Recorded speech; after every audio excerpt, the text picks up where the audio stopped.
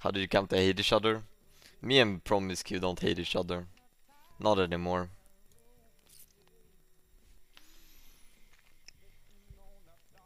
I mean, we used to hate each other because we played a lot of solo queue together, right?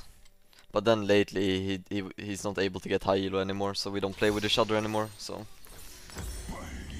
We're cool now, because we don't play in the same games.